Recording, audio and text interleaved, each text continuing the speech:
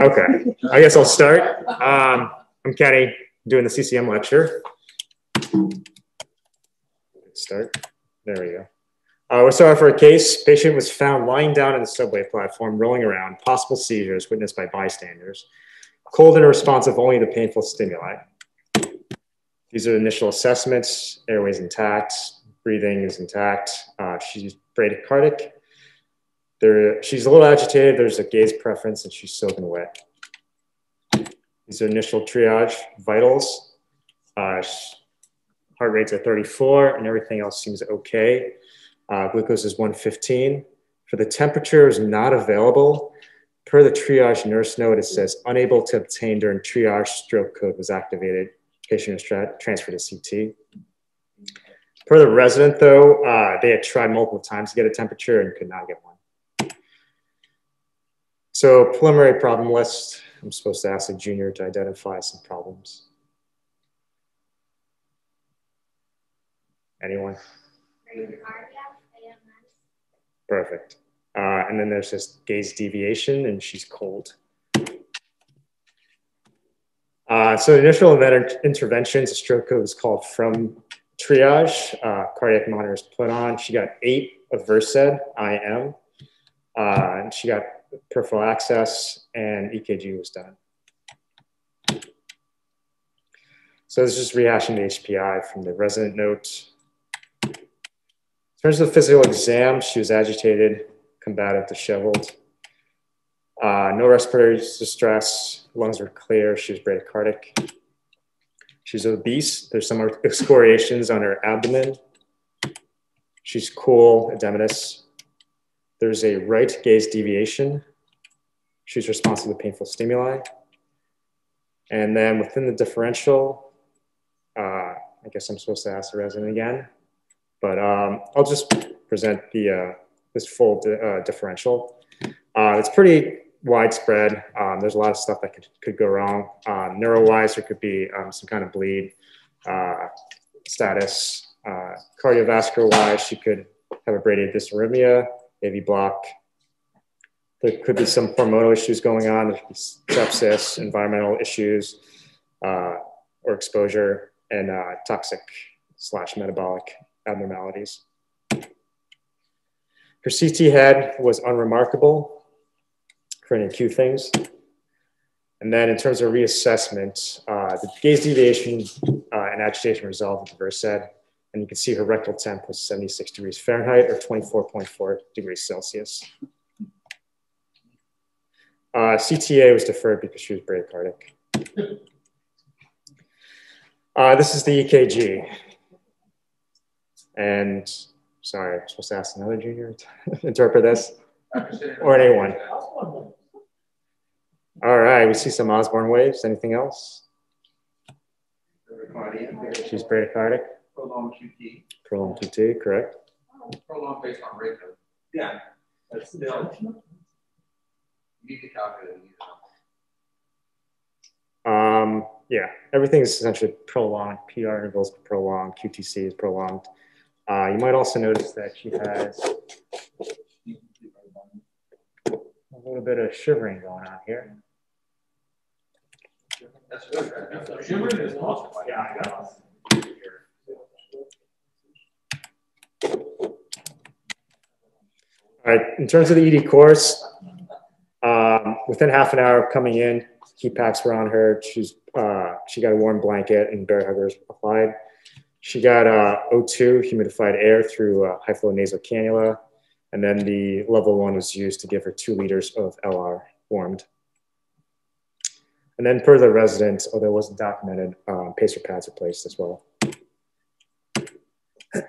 These are labs we got, basically your basic ones, uh, trope, uh, thyroid studies, uh, UTOX, and then infectious workup. And then uh, ICU console was placed. Uh, these are results. Uh, I'm just going to skip the asking a junior to interpret again.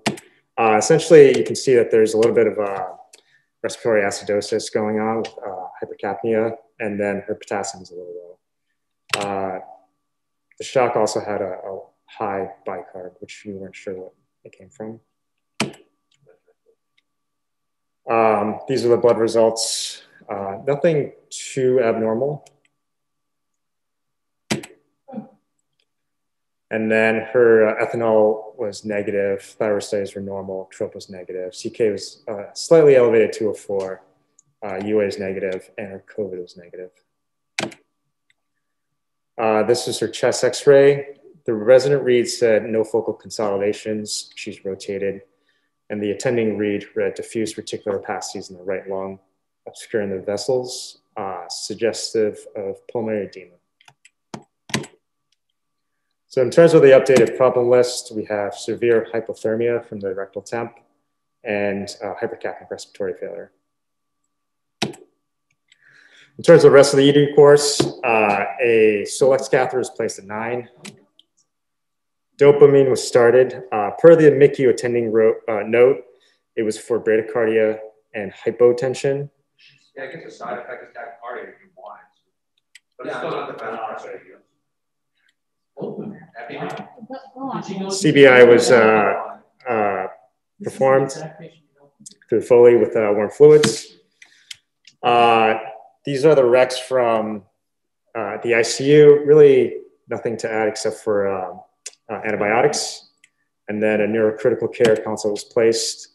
they said it was likely due to this, the, her ultimate status was likely due to hypothermia.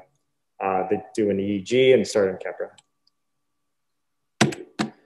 Cool. So this is my talk uh, on accidental hypothermia. Uh, essentially, this essentially occurs from an unanticipated primary cold exposure. Uh, we'll touch on secondary hypothermia causes, but it won't be the focus of this talk. Um, but with that in mind, you want to just keep your differential wide. There could be reasons why the patient's cold. There could be reasons why the patient uh, is incapacitated to, to leave the cold too. All right, so in terms of definitions of hypothermia, there's two methods for staging. Uh, there's a traditional mild, moderate, severe uh, based on the core temperature. And there's a Swiss clinical staging, uh, which correlates to just the uh, clinical symptoms. So stage one, you're shivering. Stage two, you're altered. You're not shivering. Stage three, you're unconscious. And stage four, you have cardiac arrest. Uh, keep in mind that this is all a spectrum. Your temperatures and clinical picture might not align. And some background information, there's about 1,500 documented hypothermia-related deaths yearly. Uh, this is very likely underreported. Estimates are as high as 25,000. If you want to compare this to uh, excessive heat deaths, it's uh, 400 per year for the CDC. Most deaths are seen in males. Highest instances are in urban settings, though the highest prevalence are in rural areas. And risk factors include the elderly, alcoholism, mental illness, and homelessness. In pathophys, uh, we all learned this in physics um, in terms of heat loss. Uh, most accidental hypothermias are due to convective heat loss due to cold air and then conductive heat loss. Uh, we have direct contact with water, melted snow, and cold surfaces. Uh, your body reacts to this by first peripherally vasoconstricting. Um, this basically shunts uh, uh, blood back to the core to keep the core warm. Uh, then your hypothalamus senses uh, the cold, compares it to our general set point, which is about 37 degrees Celsius. It triggers shivering uh, to create heat um, and then increases metabolic demand. Your stress hormones also go up, your thyroid, or thyroid hormones, catecholamines, adrenal activity. So these are all normal responses to stage one hypothermia or mild hypothermia. EKG changes, uh, in mild hypothermia, typically there aren't any EKG changes. You might see some shivering. Uh, when you go into moderate, you start seeing your brady, bradyarrhythmias, uh, AFib with slow ventricular response, um, sinus brady, junctional, slow junctional rhythms. And then once you start heading to severe, you get into VFibs, uh, VTACs, and asystole. Uh, everything essentially slows down. You have your prolonged PR, uh, QRS, QTCs, you might start getting into AV blocks first to third. And then J waves are typically seen uh, around less than 32 degrees Celsius. The J point is the junction of your QRS and ST segment. And the J wave itself is the uh, positive deflection there. Uh, it's mostly seen in the precordial leads. V2, V6. Um, and the size of the J wave is actually inversely related to your core temperature. So as you get colder, the wave actually should get bigger. Uh, this is not pathognomonic to hypothermia. You can find it in other things like uh, increased intracranial hypertension uh, from hemorrhage, uh, cardiac ischemia, myocarditis, Brugada's, hypercalcemia. It could also be a normal variant. Uh, and just keep in mind that hypothermia uh, can actually obscure hyperkalemia findings on EKG, most commonly the peak T waves.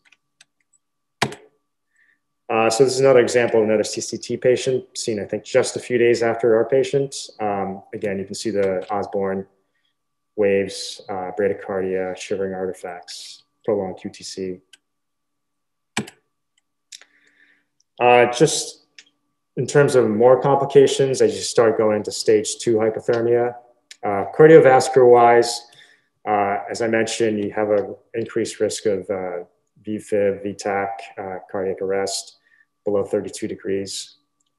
Um, respiratory wise, your uh, respiratory drive decreases. You can have hypoventilation. Uh, and then you also have pulmonary edema from depressed cardiac output. Neuro wise, you get CNS depression. Uh, your hypothalamus stops working around 30 or 32 degrees Celsius. You stop shivering, your stress hormones go down. Uh, there's something called paradoxical undressing, uh, where somebody takes off their clothes uh, when it gets cold enough. Um, it's thought that this is because you're dropping catecholamines. You don't have this peripheral vasoconstriction going on anymore, so all your core heat goes to the surface and you feel warm. Uh, it's associated with about 20 to 50% of all deaths. Uh, renal wise, you get cold diuresis. This is thought uh, to be in part because your hypothalamus stops working and you stop secreting ADH. Uh, you can also get AKI from the diuresis and rhabdo, uh, just from your frozen extremities um, caused by lysis of uh, muscle cells. Uh, electrolyte abnormalities, initially you get hypokalemia, um, late stage hypothermia, you get hyperkalemia, and then heme-wise you get um, coagulopathies. Uh, just of note, coagulopathies, a lot of times when we get our coags from hypothermic patients, they're normal. Uh, those labs are actually taken to the lab and actually reheated to 37 degrees Celsius. Um, so it doesn't really capture uh, sort of this in vivo coagulopathy. Uh, and I just want to talk about two phenomena that people talk about a lot. This is core after drop. Um, it's a phenomenon that uh, mentions that as you warm up the extremities, uh, the core temperature continues to drop. Uh, and this is kind of cited as a reason not to rewarm somebody, uh, especially in the field. The thought process is that you have vasodilation as you warm somebody. It sends cooler acidemic blood back to the core and it causes shock and arrhythmias.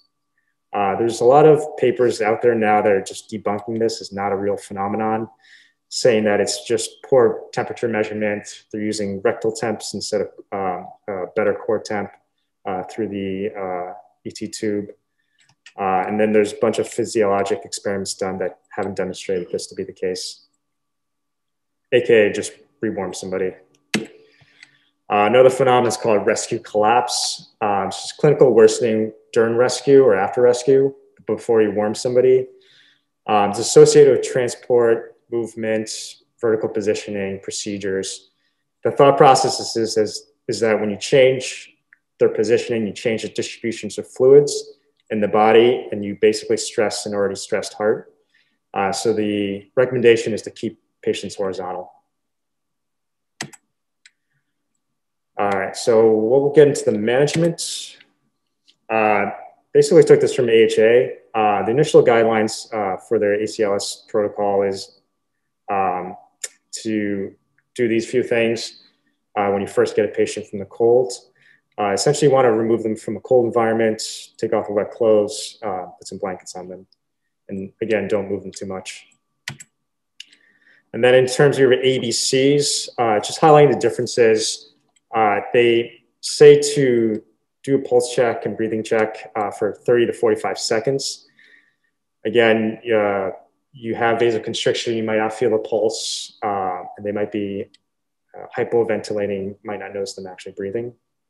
You can consider using an ultrasound at this point if it's difficult to palpate a pulse. Uh, another difference is that for uh, VFib and VTach, when you're thinking about defibrillating, just deliver up to three shocks. uh, and then uh, continue warming until 30 to 32 degrees Celsius. Uh, just to go into airway and breathing some more, um, you want to use heated inspired air. Um, obviously, you can do a face mask or high flow for a patient or through the ET tube.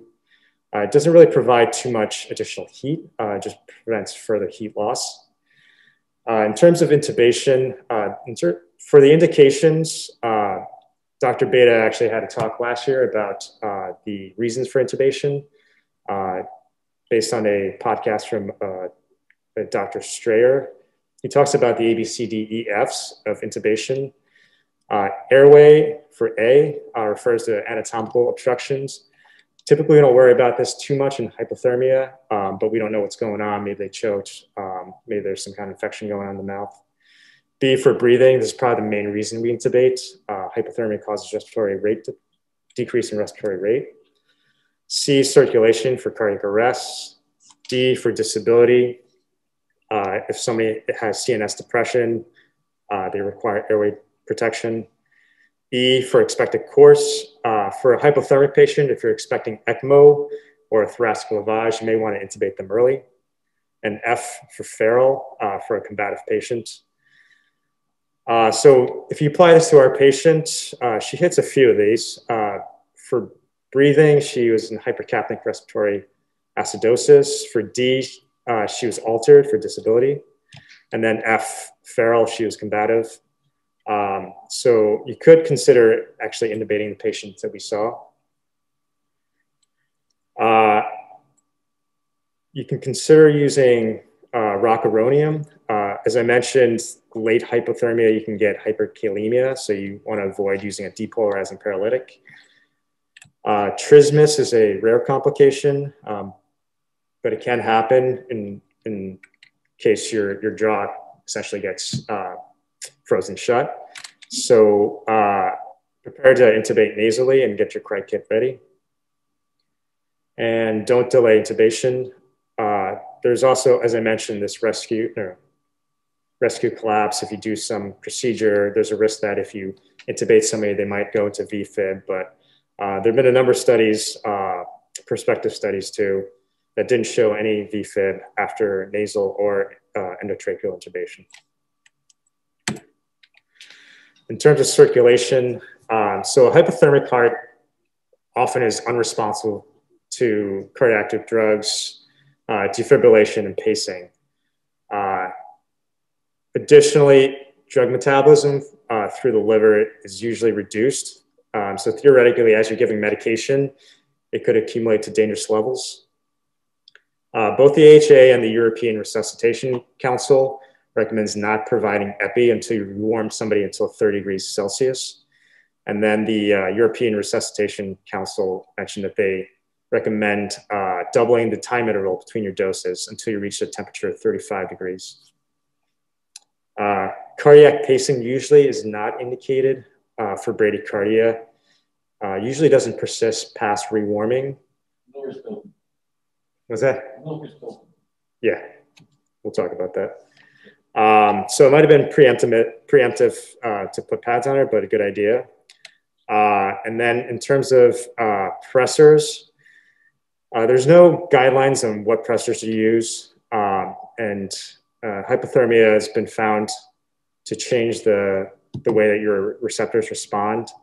Uh, in mild and moderate hypothermia, your alpha and beta receptors are actually a little more sensitive, while in deep hypothermia or severe hypothermia, the receptors are actually depressed. And then uh, some studies have shown that alpha and beta receptors respond differently uh, depending on what temperature they're at. Um, so really there's no uh, de definitive window for when you can use um, uh, certain pressors, except for dopamine is shown to have a safe profile, but it's only been done on animal models. Uh, I haven't seen anything about the efficacy of this though. And Sinert's shaking his head. Uh, and then in terms of uh, when you're providing CPR and chest compressions, just prepare for a prolonged CPR. Um, the longest CPR duration with no neurologic deficits was three and a half hours. Uh, there's another case where somebody survived six and a half hours of CPR, um, likely with neurodeficits. Uh, so consider breaking out your Lucas. And just keep in mind that we only have one Lucas in CCT. Um, so if you're considering transporting to another facility, uh, see if you can ask paramedics to see if they can bring their own. Uh, so just talking more about circulation, you want to provide warm fluids. The idea is to provide volume uh, and cold diuresis. And this also prevents uh, further heat loss. Uh, so you want to consider NS for volume expansion. Uh, some, uh, some articles were saying to avoid LR, saying that uh, your liver being in a hypothermic state can't metabolize the lactate. Uh, and then always remember there's a risk for worsening your pulmonary edema given the depressed cardiac output. So in CCT, we have three ways to warm fluids. Uh, we have this fast, the fast flow fluid warmer, which we call the level one. Uh, there's five of them available. I think there's another five in storage somewhere, and there's one in PEDS. Uh, and then you adjust the rate based on the pressure you place in the bag. Uh, one thing I didn't know is that we have these uh, hotline warmers. Um, they're not pressurized, so they don't go as fast, but they rewarm just the same. There's three of them in CCT. And then uh, you can use a microwave. Um, so Dr. G talked about this, how uh, he used it back in his practice. Um, typically for a 600 watt microwave, it takes about two minutes to heat up uh, a liter bag. It's about 39 degrees Celsius. Um, but what Dr. G said is you just cut a hole in the bag, put a thermometer in there and just time it. Um, so if you put two minutes and it's at 38, just consider increasing the, uh, the time for the next uh, bag. After you heat it, just shake it up uh, to remove hot spots. You don't want to heat up uh, fluids with dextrose in it in the microwave because uh, they may, uh, the sugar may actually caramelize at 60 degrees Celsius. Uh, in terms of blood transfusions, it's, you can run these through the warmers uh, up to 43 degrees Celsius without any cl clinically significant amount of hemolysis. Uh, just don't put them in the microwave. Um, you might create some hot spots and it might lyse the uh, hemoglobin. And that was actually an article in Annals of uh, Emergency Medicine. Uh, so this is adage, not dead until warm and dead, which really stresses rewarming as the fundamental thing to do as part of resuscitation. Uh, once you're warm, that's when you bring back your metabolic processes, your cardiac conduction, um, and it's suggested that you continue resuscitation and CPR until 32 degrees Celsius.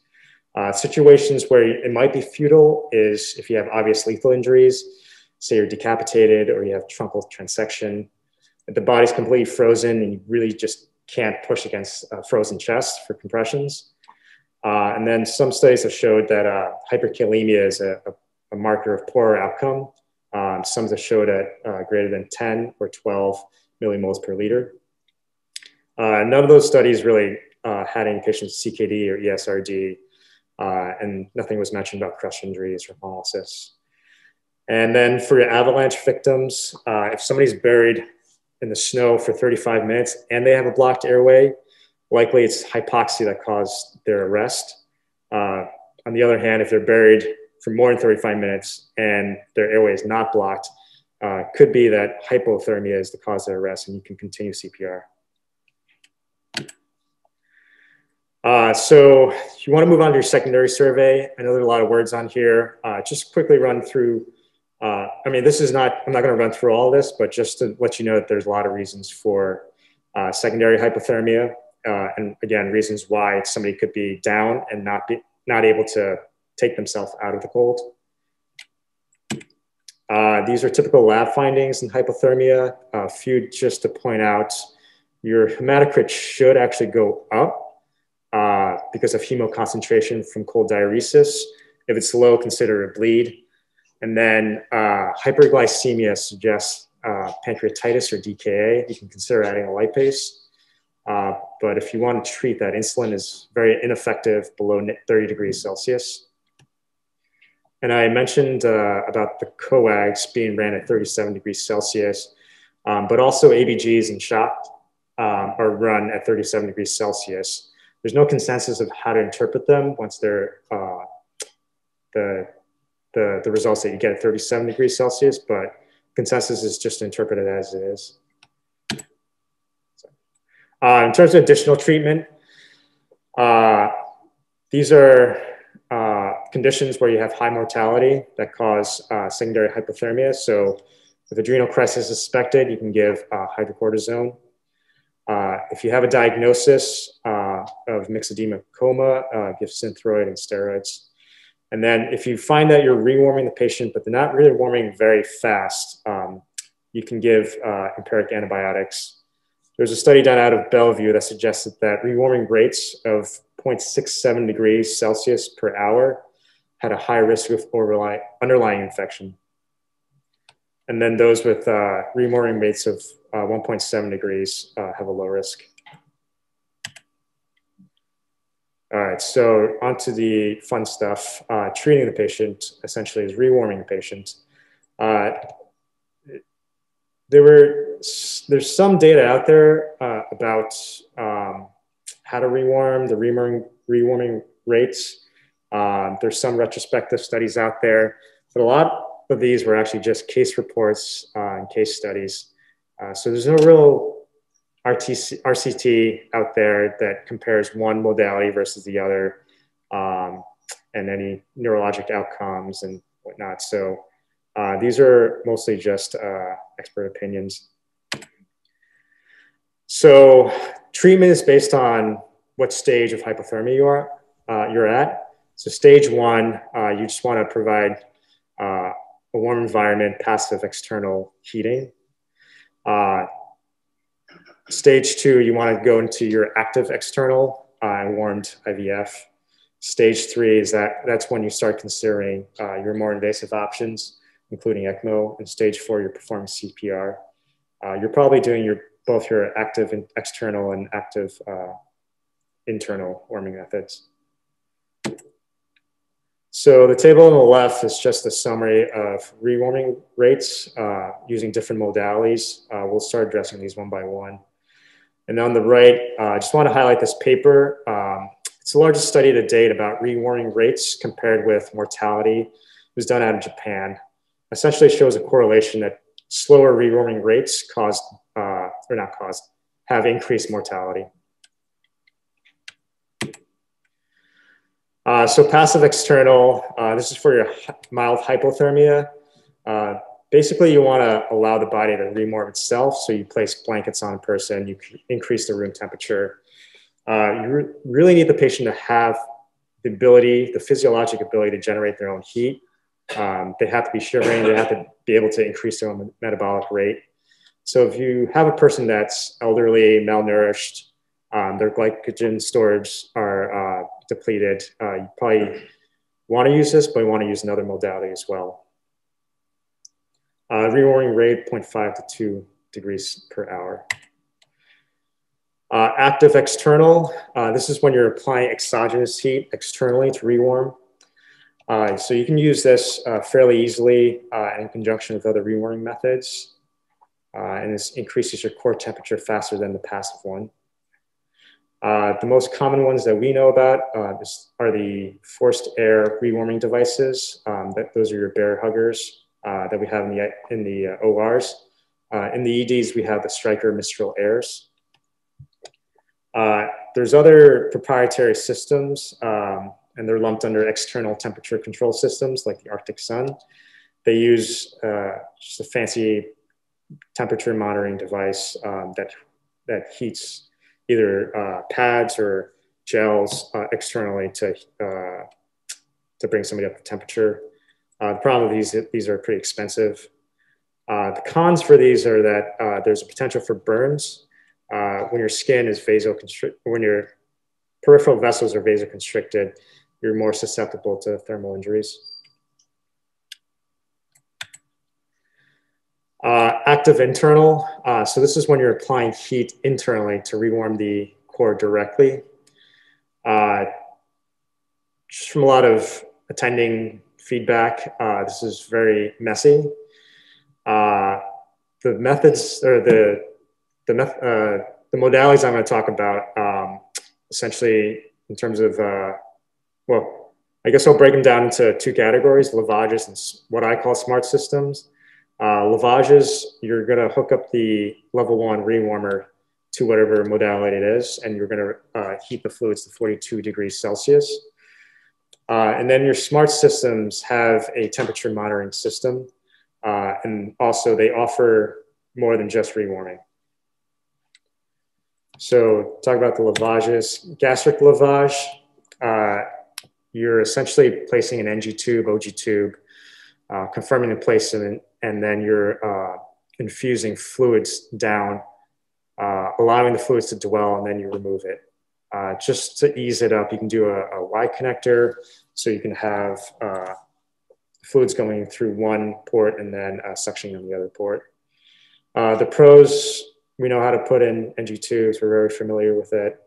Uh, the cons of this is that uh, regurg is very common, increases your risk for aspirations. Um, so you generally want to perform this in patients who are already intubated. Also, the stomach isn't very large, it's a small surface area to exchange heat. Um, and then CPR is not possible with this for risk of aspiration.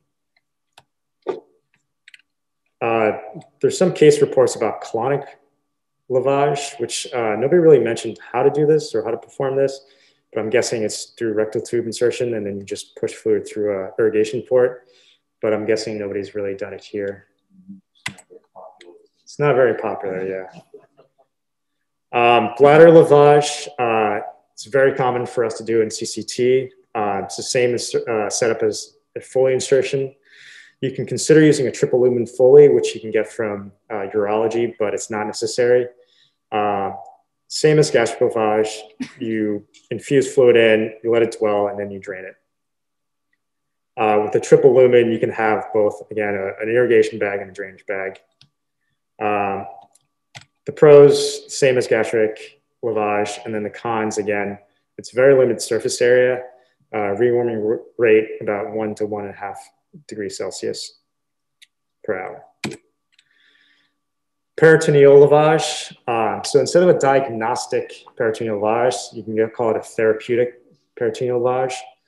Um, the catheter that you insert is the same that you do for DPL.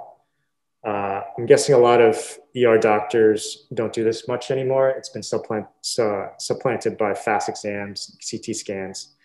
Um, but I guess it's still within our scope to do. Um, the process is that typically you, you select a site that's two centimeters below the umbilicus. You go through uh, three layers, the skin, the fascia, and the peritoneal lining to insert your, uh, your needle. Uh, and it's kind of like a, a, central line where you use a Seldinger method to uh, introduce the wire. You pass the catheter through. Uh, you want to infuse about 10 to 20 cc's per kg of warm fluids. Again, let it dwell, and then you suction it out.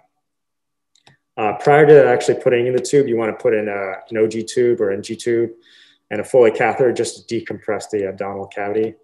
And then there were some suggestions of getting an x-ray prior to this, just so you can rule out diaphragmatic air, subdiaphragmatic air, because um, you might actually introduce it. Uh, the pros for this is that you're actually hitting up a, a large surface area. There's a theoretical benefit of reviving your liver uh, which allows it to clear toxins and other metabolic processes, and it allows other metabolic processes to return. Um, and then the idea is that you're, you're essentially giving little episodes of peritoneal dialysis.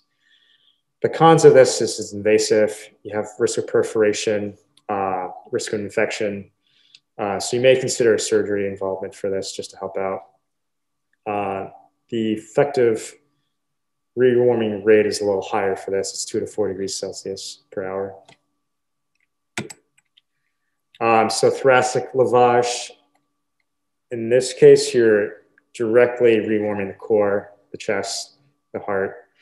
Um, there's essentially, you call two types, uh, closed, which we're using chest tubes, uh, and open, which you do in thoracotomy.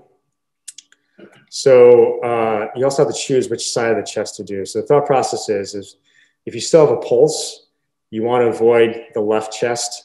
Uh, putting a chest tube in there, flushing it with water, um, cause agitation to the heart, can easily induce arrhythmias, uh, VFib. But if you're pulseless, you may want to consider using left, left chest uh, just because the heart needs rewarming first in order for medications and defibrillation to be effective. The pros for this, say, again, you're rewarming the heart directly. Um, you're also rewarming the pleural space, which is highly vascularized. It doesn't require for you to have an intact circulation um, because you're rewarming the core directly. Cons, uh, it's messy, it's invasive. Uh, if you insert a chest tube in the left side of a pulse, uh, you could induce VF. Uh, you could increase your thoracic hypertension if you don't uh, drain fluid out too much or too fast, uh, and risk of infections. Uh, the rate for this is about three to six degrees per hour. So the closed method, um, you can do the one versus two two method or and or one chest or two. If you're doing the two tube method, you want to put your first chest tube in the second to third intercostal space, mid clavicular. Uh, for the second chest tube, you put it where we normally put chest tubes, the fourth to sixth intercostal space mid axillary. Um, and then you infuse your, your uh, warm fluids. Uh, you can, if you're doing the one tube method, uh, you just put it in the posterior uh, mid axillary line and then uh, infuse your fluid, clamp it for 15, 20 minutes, let it dwell in there, and then uh, drain it. But it's a little more labor intensive. Uh, one suggestion was to, uh, instead of a chest tube for the anterior one, to use a pigtail instead. Uh, it's a little cleaner, it's a little easier to put in. Uh, the hole's not as big. And then if you're not finding that the patient is rewarming as fast as you like, you can consider changing or switching the the Pleurovac. Uh, instead of putting it from the posterior to the posterior chest tube, you can put it to the anterior one, and then filling it from the posterior uh, chest tube with uh, warm fluids. This way, it fills up before it gets drained. But again, you might uh, be increasing the pressure in there too much. Uh, it might cause um, the lungs to uh, basically collapse. And then open is messy. You're basically doing a left side thoracotomy. Uh, again, this is very dangerous to do uh, if uh, the person's actually still has a pulse or perfusing on their own, they're not in cardiac arrest. And also, it's pretty dangerous if you don't have uh, uh, ECMO or uh, cardiopulmonary bypass in house, because this is seen mostly as a temporizing measure until you get to some get get somebody to ECMO. Um, obviously, you want somebody that's uh, experienced with this to actually lead it, uh, and you're not able to do CPR here, but uh, you will be doing cardiac massage if they're in cardiac arrest. Uh, and then you can defibrillate through uh, internal defibrillator pads, which I'm not sure if we have in CCT. Okay. Uh, so for the smart systems, um, so this is what was placed in our patient, uh, uh, rewarming catheter. These are the same catheters used for uh, TTM, post-cardiac arrest, um, but you're just using a rewarming cycle. Uh, you basically uh, rewarm the blood uh, by, within the catheters, there's a balloon or um, coils that run heated saline through and they warm up the blood as it runs through the central line. Uh, the pros for this, we're very familiar with putting in central lines. Uh, you have central uh, line access, and you, it's kind of this more of a set and forget it thing where you have a machine that controls your temperature. Uh, you can also maintain your CPR. Uh, the con is that it's very expensive, and it hasn't really been shown to be superior to other methods like just putting a Bair Hugger on and running warm saline. Um, there's a study out of Hennepin that showed a, a rewarming rate of only, only 1.3 degrees per hour. Uh, you can consider dialysis, especially in cases of intoxes, uh, electrolyte abnormalities, and if they have an existing access, uh, AV fistula. Uh, the pros, it's available in house. Uh, you can, like I mentioned, um, correct your electrolytes, your acid-base uh, derangements. You can give them fluids. You can also remove drugs and toxin. The cons, uh, it's not readily available per se. Uh, it might just take hours, one, to get uh, renal involved, two, to get staff down there and the machines down there. Um, yeah. So practically, it's probably not so uh, useful at our shops. Uh, and this also requires a, uh, a beating heart. Uh, rewarming rates about two to three degrees. And then this is the mainstay. This, or sorry, this is like the gold standard for uh, treatment for severe hypothermia, especially in case of cardiac arrest. Um, so uh, usually, it for your uh, stage threes and fours, especially in cardiac arrest, uh, it's been shown uh, by multiple studies to have both short-term and long-term uh, survival, improved survival. Um, as well as uh, baseline or near baseline neurologic outcomes. Uh, the pros for this is that it supports your organ perfusion and oxygenation. Uh, it's got a very high rewarming, rewarming rate uh, and allows you to stop CPR. Uh, the cons is not, it's not in-house. It's very resource intensive. It requires you to call an ECMO center, call the transfer center, uh, get accepted and for their mobile team to come cannulate and place the patient on ECMO. Uh, and then there's a bleeding risk for a patient who already is coagulopathic. Uh, and these are the local ECMO centers we have. Uh, MIMO is where we usually send patients to for other things. Uh, LIJ has ECMO as well. NYU has ECMO. Uh, and I just found out Methodist has ECMO. I called their ED and their attending says that uh, best not to send their, them patients because they often send their patients out to Columbia. Uh, and then this is more of a practical slide. Um, so it's to mainly help with lavages uh, where you have to connect the level one infuser uh, warmer uh, to different modalities. So it might require to jerry rig a lot of these connections. So the end of the level one is a uh, luer lock, the male end of the luer lock. Um, and then you have to connect this to some kind of receiving end. So I came up with this uh, mnemonic uh, swap because you're swapping fluids from one tube to another. Uh, the easiest way is to, you can screw the luer lock uh, into the female end of the luer lock. You find the female ends on uh, pigtails, DPL catheters, um, and so that's easy. Uh, w is for wedge. Um, you can actually wedge that end into small or slightly larger tubes, um, but not too large, obviously, because you'll have leaks. Uh, it's a lot easier in rubberized tubes like Foley's, um, but in this picture, you have uh, a 36 French chest tube that I wedged the, uh, the line to. Just make sure it's uh, in there deep and then secure it. Uh, a is for adapt. So um, there's different ways to make an adapter. Um, first one is a uh, Christmas tree adapter, which you can find in uh, your chest, your Pleurovac kits, uh, where you're bridging a tube, an open tube to an open tube. Uh, the one in the middle uh, is an adapter uh, when you want to connect a male end uh, to tubing. So I took a three cc syringe, cut it with shears, and just put it into one of these suction uh, little tubes. So uh, if you want to, you know, put one end to uh, the male end of, of whatever and then set the other end to suction, you can do that. And then you can use a three-way catheter as well, uh, which has one male end and two female ends. Um, so in this setup, you can have the level one up top here going into uh, one of the female ends. Uh, this is the wedge method where you have uh, suction hooked up here, and then you can have a third, third one where, which goes into the line. And then uh, P is for poke.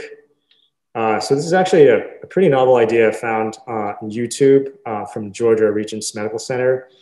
Uh, so you have a chest tube going to the patient, but instead of putting a second chest tube to infuse fluids, all I did was take an IV, uh, clean out the clean off the tube on top, insert the IV, an 18 gauge or 16 gauge into the chest tube, and then infuse the fluid through that way. Um, obviously, when you're infusing, you want to just lock it off. Um, but this way, this it's not a you're not creating another hole, and it's uh, a lot less messy. Uh, so for our patient, uh, in terms of their uh, course, they were sent up to the MICU. Um, the, they were found to be attended on high flow, SATs in the 80s. They were intubated and they were started on uh, Levophed and vasopressin. Uh, by hospital A1, she got a TTE, which showed a possible IVC thrombus. Uh, started on heparin. At this point, her EUTOX and her infectious uh, workup was negative. Hospital A3, she was extubated, but then reintubated, likely due to aspiration. Her DVT study was negative. At hospital A4, uh, finally her Solex was removed from her left fem. Hospital A5, uh, she had a CTA, PE, and uh, abdomen done, which showed a right-sided PE, uh, as well as DVT in the left fem external iliac vein, which was at the location of uh, the Solex catheter.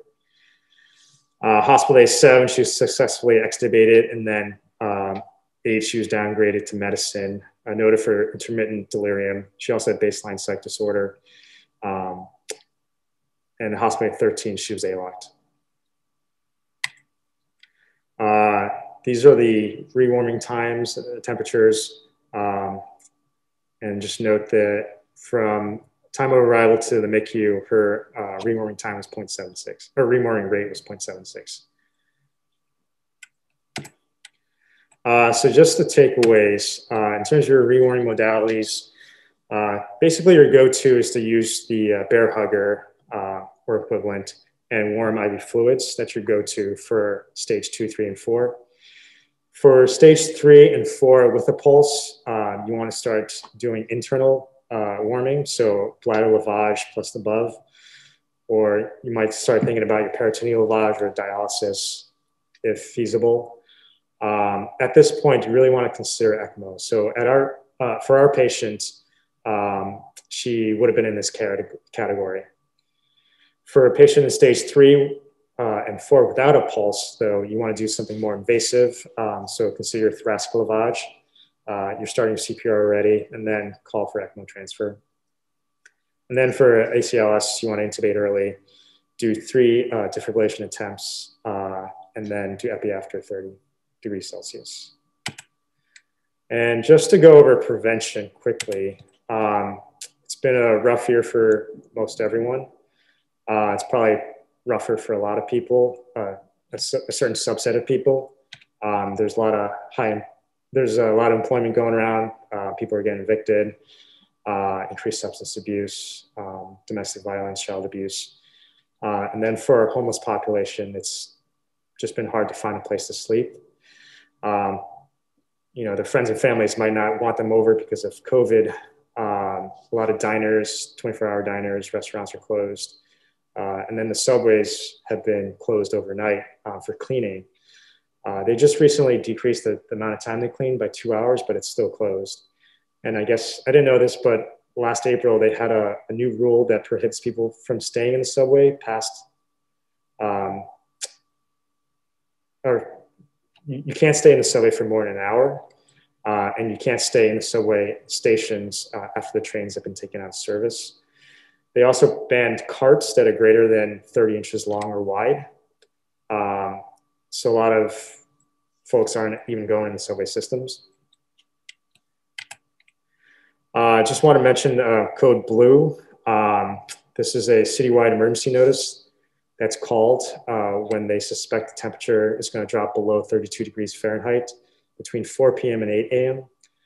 Uh, during this time, no one is denied from a shelter. Uh, everyone that's referred should be able to go. They also have these drop-in centers, which I didn't know about. They're open for 24 hours, um, and they essentially assist uh, the homeless, whether it's code blue or not. And there you can get hot meals, um, clothing, showers, counselors, uh, and you're not. It's not really a shelter where you can sleep on a bed, but they do have chairs and they allow you to sleep there. Uh, and they're located all throughout the city. Um, and during Code Blue, they just send more staff out to basically refer patients to uh, the shelters. Just from the articles I read, a lot of people don't want to go to shelters. Uh, it's dangerous there. People get uh, assaulted, they get things stolen. Uh, I've had plenty of patients tell me they don't want to go as well. Um, so it's just something to consider. If you do want to refer somebody, you can call 311, or this is the direct number to the Department of Homeless Services. Uh, and this is their command center. And then what you can do, uh, provide food and water. You want to make sure they have enough uh, caloric capacity to actually create heat. Ask the patient uh, if they need help, talk to them. Ask them if they have a safe place to go or warm place to go. Uh, involve social work. Um, you, they can provide clothing, uh, although there are no shoes available. That's still a, a sticking point, a sticky point for us. Uh, just a couple days ago, I asked social work, and they said they weren't providing clothing. It's not their job. Um, you can hand out heat packs. Uh, this really won't do much for the core temperature, but just provides uh, some kind of something to prevent uh, other other cold injuries like frostbite. And then you can always delay discharge and keep them in ED. And uh, that's my talk. And that's my new buddy, Hobbs. Often Kings County lobby is a drop yeah. I actually asked uh, the social worker that, and she said she's never heard of that. Um, yeah, I got a lot of pushback. Both sides of the street. Okay. You, yeah. can, you can stay in the lobbies overnight. That's good to know. They, they used to set up uh, cots too. Yeah. Um, and they would provide us sandwiches things overnight. Yeah, now we have buses outside, more buses. Whenever we have our phone booth, the city sends just buses they representatives walk around the AR after we Yeah. And they stay there until 8 a.m. They take directly Yeah, so I mean, initially I thought that you could stay on a heated bus, but yeah, they, they take them to shelters. So you might get a lot of, the bus is heated too, yeah. Um, I've heard a lot of pushback from that too. People just, when they, when they hear the bus, they're all for it. But then when they want to go to shelters, they're like, no, I don't want to go to shelter. So, but, but it definitely is an option, yeah. I'm glad you uh, debunked uh, some of the, the rumors, in, in particular, like don't all women worry about the intubation is really should be a mainstay. You talk about central lines, we're very proficient very proficient in intubation. Warm, humidified um, air is a great way to, to warm somebody up, as you showed. So I just don't want people to think that you, know, you can't really intubate. Absolutely should. Dr. G. First, wait, that was such a great talk as far as really going over everything very well. I mean, you put a lot, a lot of effort into that. I'm very impressed. The second thing is, like you mentioned, you don't want to overdo your interventions. Things like, as long as they have a, a, detectable pulse, or at least they, you know, are in, in VFib or VTAC at that very low temperature. Um, if you start doing things like central lines, that has been shown to increase VFib uh, and death, and giving them medications. I mean, I think to some extent, the slow pulse in the blood, low blood pressure is almost like hibernation. I think it almost even protects them. Definitely something you see. And if you start trying to treat that like you would someone who's normal sermon, you give them vasopressors and stuff, you know, even you may cause more damage because as you mentioned, as you warm them when they're very cold, that medicine really doesn't get do anything. It doesn't really, you know, affect the heart or the tissue. And then as you warm them, all that medicine you gave can suddenly come in, you know, as you reach 88, 90 degrees. And it may then actually cause arrhythmias. And I've seen that as you get to 88 or 90, it may, that's the time they may go into VFib on you on their own if they have all this medicine on board. So I, I question trying to raise that blood pressure with things like dopamine, even if there's a dog study. I remember years ago. Swine and sheep, sorry. It's swine and sheep. Yeah. And, and sheep, okay. And I just remember. Okay. Yeah, watch Yeah. it, watch it, G. But they're they're all bullies, you know, they have other things going on. But uh, you know, bully bully with an S behind that. But um, you just got to be very careful, I think, of doing extra stuff unless they're in arrest. And even when they're arrest, like you said, when they're very low, you're not even giving them epi, you're just shocking them and giving them CPR. And if that doesn't work, just giving them the CPR. So I would just caution about using pressors and other medications. I remember one time a lot of people would use atropine because it was so great a clotting. And then nothing would happen. And then when they got warmed up, suddenly they go into tachydysrhythmias and all that stuff came in. So just be careful with that. It was a great talk. Really Great great talk.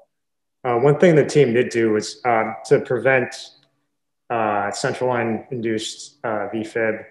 Uh, there's some suggestions of just uh, instead of doing in the IJs, just doing the FEMs, and that's what they did with Solex. So you don't agitate the heart. Theoretical, but. Right, Thanks, Henry. Great job.